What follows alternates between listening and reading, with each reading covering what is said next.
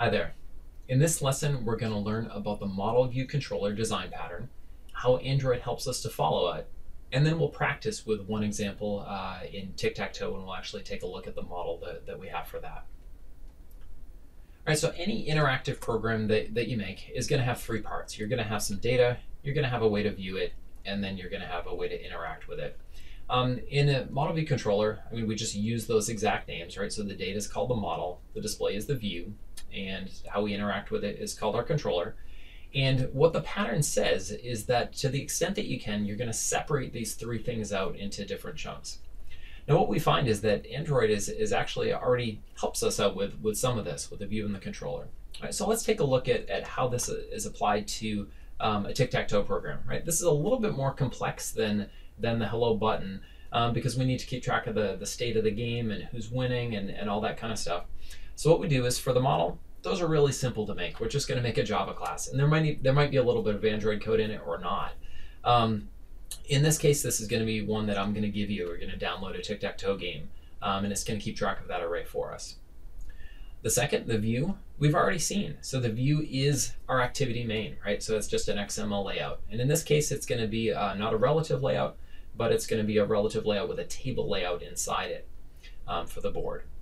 And then the third is is are going to be our controller. And again, we've already seen an example of that as well, right? So so that's the just the main activity. Um, and we're going to have button listers, but of course we're going to be listening to 10 buttons this time, um, not just the the one that we had in our in our last um, example.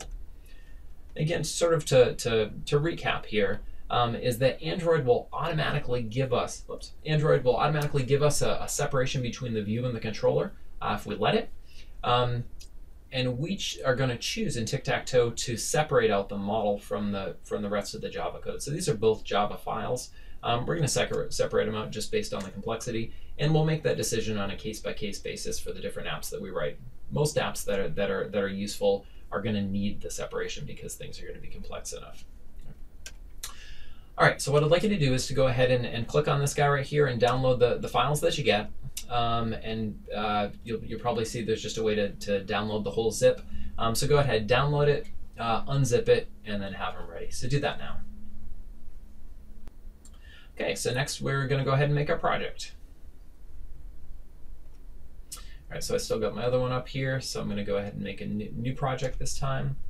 Uh, and we'll call this guy tick tac toe, and it should remember um, your your uh, your settings from before and your project location and everything. Uh, defaults, empty activity, and then main activity is going to be fine for this guy as well. And click finish. All right, so it built. What I'd like you to do now is to go ahead and to uh, grab the tic-tac-toe model file uh, that you unzipped and put it into the source folder in Eclipse. And you know, if it asks you to, you can copy it, and we'll take a look at it. So I already have mine on my clipboard, so I'm going to paste this guy in right now. Tic-tac-toe game. Put it in there. Um, while I'm at it, I'm also going to dump in. There was an icon from there that, that you probably saw. So um, go ahead and grab the icon too. Where the icon goes is going to be inside resources um, and Android's putting uh, icons in MipMap these days. So open that guy up and then paste it in. And it'll ask you which one you want to put it in. And I think it, it's thinking that mine is medium DPI, so I'll, I'll, just take the default there and see what it does. Um, and it was called icon. I think that's a fine name.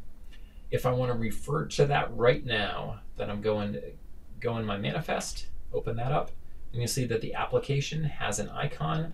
And I'm going to change this from, from the, the launcher to to just icon. All right, maybe I should have called it tic-tac-toe icon, but but it is what it is.